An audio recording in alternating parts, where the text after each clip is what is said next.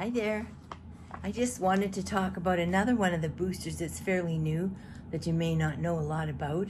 has a long name, but it's Ferulic Niacinamide Brightener. And it's this little booster guy that does a whole lot of stuff. So I'm going to read to you exactly what it does.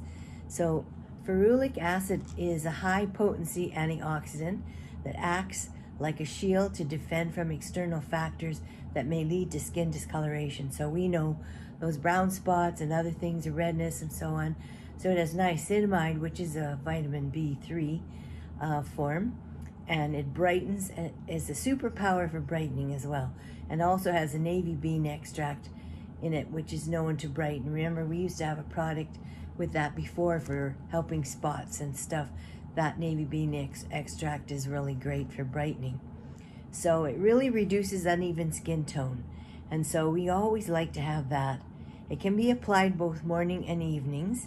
And so here's the application technique for that one. Um, so basically in the morning you can cleanse your skin and then add this particular booster, ferulic acid, niacinamide, no, that's not it. Ferulic and niacinamide brightener. That's what it's called. And so basically it goes on after the cleanser and then you put your serum on and your day cream. And then at night, a few drops, cleanse your skin. You can use your eye cream and then put this booster on face and neck and then your serum and night cream. Now you can use the retinol with this one if you're using retinol and it goes on after you use the booster. So that might help you if you're looking at these boosters and wonder what they do because they all have an important part to play. And so I just thought you might want to know. So there you go. Thanks, 80s.